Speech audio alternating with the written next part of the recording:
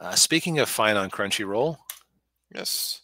Kaiju number eight, the anime. We gave it the old two episode rule. Yes. Yeah. Um, yeah. So this um, uh, this is an in, interesting series. I thought, uh, or you know, interesting start to the series. So it's uh, basically set in a world of uh, where um, uh, kaiju are uh, are a thing, and uh, they've they've been they attack Japan pretty regularly. And there's a there's a group of um, special forces type people who uh, they don't wear they don't wear mech suits. They don't wear um, uh, you know you know any kind of robot suits or anything. They're they just have really big, powerful guns that can take out the kaiju. Right now, you get a little bit of this at the end of the second episode. The suits are special. It's just um, it's weird. Like they, they wear these suits that are powered off of their own ki almost is the best way to like put it or yeah. their own natural energy their midi chlorians whatever you whatever you want to call it uh, yeah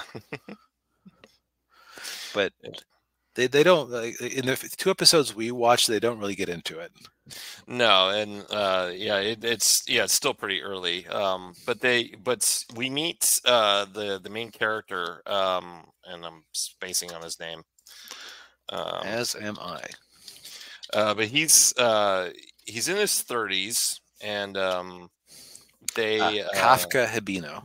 Kafka, yeah, and uh, he's um, oh okay. So the ninja says the suits are um, uh, mech suits, and the weapons are made from okay, and um, so uh, so Kafka um, is working uh, he's not one of the one of the special soldiers uh, although he wanted to be one but he couldn't pass the entrance exam so he's working the cleanup duty. Uh, so he's one of the guys who you know chops the the kaiju up and you know takes all the parts out and everything kind of like uh it's that sort of reminded me of the uh the ron perlman and um uh Pacific Rim. Oh, see, I, I yeah. thought you were going to compare it to Damage Control from the Marvel comics. Oh, oh, that too. Yeah, Damage Control. Yeah. Um, but uh, but yeah, so they're uh, so they so they have to you know they cut it up using all this uh, different power tools, and of course Kafka. Uh, one day he gets uh, gets put on the the uh, intestine duty. which is animated rather interestingly. yeah, I, I, would almost be curious to watch this on Blu-ray to see if they actually animated all of the uh, awful and waste spewing out of the intestines, or if yeah. they just if it was all digital all the way down. Yeah, yeah, I'd be curious to see that too. Yeah, um, a lot of censorship going on. Yeah, there is. Yeah, um, and so then he uh, and then Kafka gets uh, there's a new young guy uh, starts working there, um, and I'm spacing on his name too. Um, uh,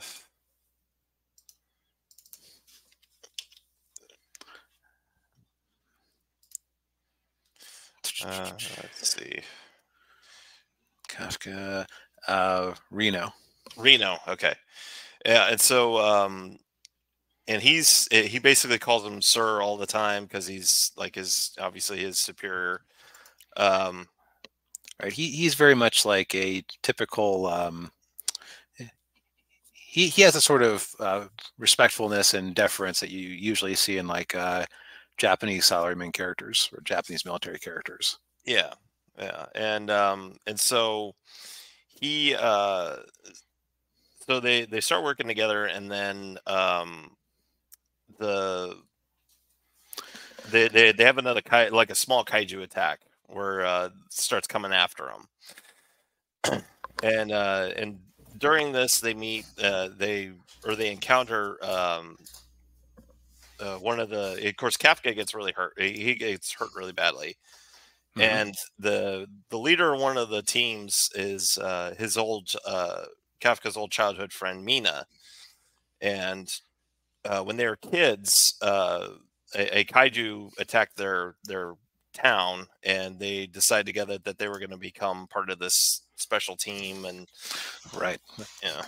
And uh, she got there, and she's like the world's number one hero, Yeah. and he's on intestine duty. yeah. um, but uh, but then they so then they're in the hospital and uh, and then the Kafka sees this little flying kaiju thing, Mhm. and he says, "Found you!" And Yes. and then he turns into the titular kaiju number eight.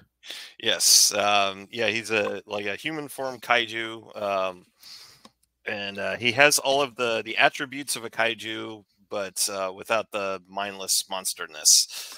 Yes. Uh, and uh, so, so here's what, I, what I'll say about this show. So it's, so it's it has some heavy themes it's dealing with. Uh, you know, it's like a big. So you know, it's a not a end of the world scenario, but it's it actually really reminds me of My Hero Academia in terms of stakes and tone. Mhm. It's like kaiju are a problem, but they're a problem that the uh, military has a solution for. Yeah. but uh and over the course so I, I read the manga a while back um i eventually petered out on it but i decided that it would be fun to see how they adapted it into a show. Okay. because i kind of felt like the the manga kind of almost had the x-men 97 problem where it felt like a lot of the plot was on fast forward. Mm, so i actually kind of thought to myself you know being animated might actually help it because they might introduce some more space and filler. Okay. So it might help the pacing a bit. Um, but uh, so it's a, it's a serious scenario, and it's also like it's serious for him. He's older. He, you know, this is his last chance to maybe get into the military Yeah. and do what he wanted to do.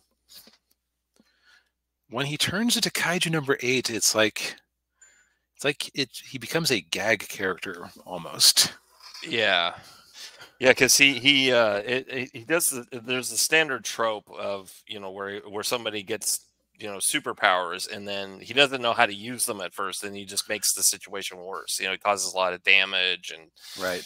yeah, and he scares people. Yeah, A- a- An old man sees them and he tries to. Uh, he accidentally knocks the wall down, yeah, yeah, try, trying to close the door. yeah, He goes to open the window. He proceeds to rip the side of the building off. yeah, Um, and then, like, uh, he feels like, oh, I have to pee. Well, where are you going to pee out of? I don't see any junk down there. I don't know. Uh. And then it's through his nipples. Uh, yeah, And, um, oh, yeah. And, and of course, he does the thing you'd kind of expect where he goes and saves a. Uh, he saves a small child from a from a small kaiju.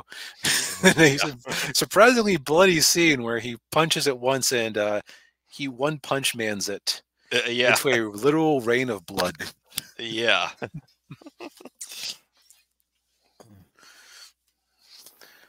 Yeah, and uh, Ninja says he's happy devil man. Yeah, sort of. Hmm. Um, and then at the end of the second episode, uh, he, he does get his chance to rejoin, uh, to take the test one more time, which he's gotten to take the test before. He just always fails the second part. Right. Yeah.